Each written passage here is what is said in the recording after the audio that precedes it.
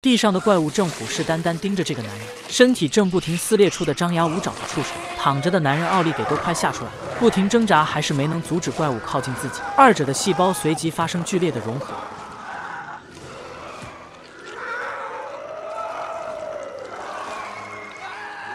于是，男人在痛苦的嚎叫下被怪物活生生的拖走了。这就是著名科幻恐怖片《怪形前传》中的名场面。它不仅很好的重现了前作中经典的变异怪物形象，也深得前作里那种在漫天飞雪下、密闭空间中人与人之间不信任的猜疑链，非常适合拉上小伙伴们一起看。说不准你们其中一个早已变成了伟人。在一望无际的南极冰原上，一辆雪地车正在经过厚实的冰面，但他们很快注意到了探测雷达的提示。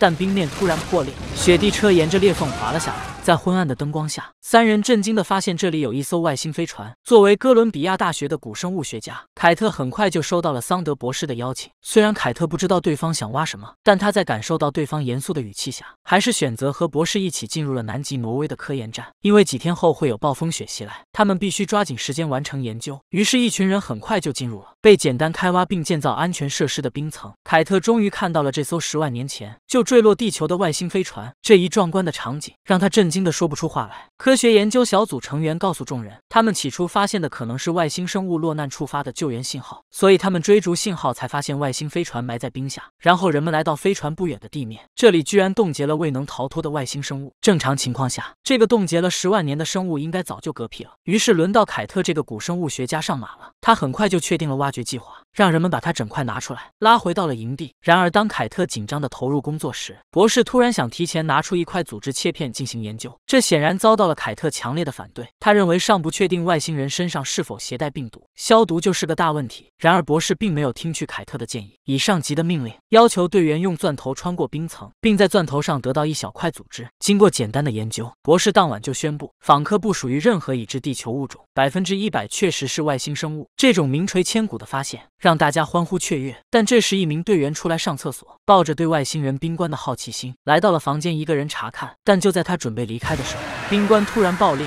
死而复生的外星生物挣扎着冲出屋顶，这一幕出乎所有人的意料，所以他们不得不迅速分成小组，开始在营地附近进行搜索。博士一行首先在狗舍里发现了被怪物残杀的狗子，血迹斑斑的场景简直惨不忍睹。这时，另一组在外面搜查的队员发现了躲在房子底下气喘吁吁的外星生物，但他们还没来得及呼救，其中一个就被怪物射出的钩子贯穿过胸口，拖进了黑暗的夹层之中。其他的人听到了尖叫，过来看到怪物正在吞噬队员，一群人毫不犹豫的赶紧开枪，但子弹并没有阻止怪物的行为。无奈之下，他们只能点燃整个房子，活活烧死这个可怕的外星生之后，通过博士的解剖，他们看到了还没来得及被吸收的队员凯特，还在怪物体内发现了一块钛合金固定板，最初用于骨折后加固手臂，但现在从队友身体上脱落，被外星生物排出。这一现象很奇怪，于是凯特很快开始了研究，发现死去队员身上有外星生物细胞，这些细胞开始通过吞噬队员的细胞来模仿对方。这一发现让凯特既震惊又害怕。第二天，飞行员老美准备带着一名。伤员离开基地，顺便再向外界求支援。但凯特在厕所地板上发现了被遗弃的金属牙齿。不光如此，他还在浴室里看到一大片血迹。结合上昨晚的解剖研究，他这才意识到有人被外星生物复制了。于是凯特迅速冲出去阻止直升机离开。老美看到凯特摇臂大喊大叫，示意他们不要离开。犹豫了一会儿，毅然决定着陆。但机上的一名队员开始暴力，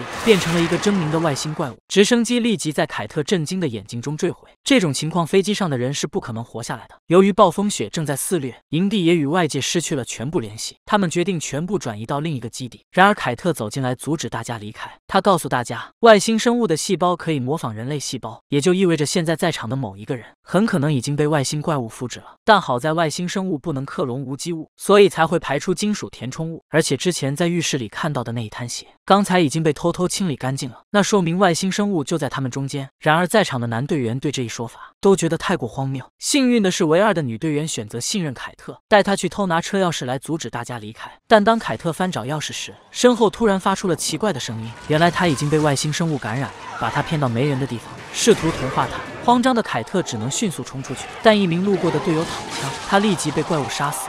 这样巨大的骚乱吸引来其余的队员，就在怪物吞噬队员之间，他们立即用喷火枪杀死了怪物。为了消除隐患，人们又焚烧了怪物和死去的队员。考虑到怪物可能仍然潜伏在人群中，博士建议使用血清分辨人类与怪物。但这时，飞行员老美带着同伴去了营地，面对蹒跚而来的两个人，队员们认为人类不可能在坠机中生存，并决定立即烧死他们。幸运的是，凯特及时阻止了他们，并建议先隔离他们，然后通过检测来消除嫌疑。但令人惊讶的是，实验室突然被大火烧毁。看到检测无法进行，人们又开始互相怀疑，一定是有人心虚故意破坏了实验室。他们引发了激激烈的争吵。这时，凯特表示还有另一方法，在被外星生物感染后，他会排出无机物，所以他先排除了几个有金属假牙的人。未能消除怀疑的人暂时待在房间的另一个角落，然后让另外两个队友前去叫来飞行员。但他们赶到小房间后，老美和他的同伴已经逃跑了，而且还掳走了其中一个挪威人，这让大家再次陷入争吵。拿着喷火枪的男队员也不知所措。这时，玻璃破碎的声音突然响起，老美拿着喷火枪冲进了房子，双方很快就对峙起来。老黑看着男队员在别人的鼓励下下即将开火，他不得不提前开枪，但子弹穿过燃料管，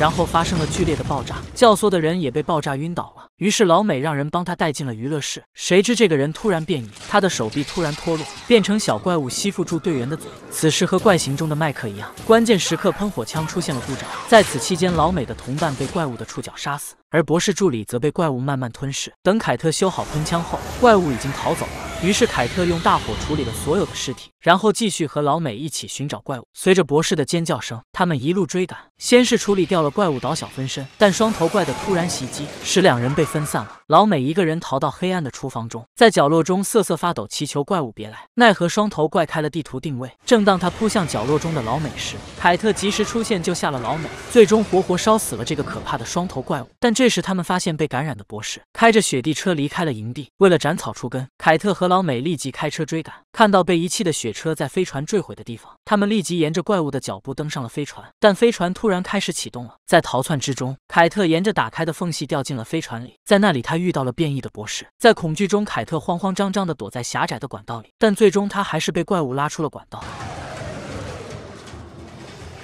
在关键时刻，凯特把随身携带的手榴弹扔进了怪物张开的血盆大口里。爆炸不仅杀死了这种可怕的外星生物，还逼停了即将到来的飞船。而凯特在老美的帮助下成功逃离了飞船。然而，当他们准备去俄罗斯科研站寻求帮助时，凯特发现老美的耳环已经不复存在。老美在被提醒后，下意识摸错了耳朵，这让凯特确信老美不再是人类，所以他毫不犹豫地向老美喷火。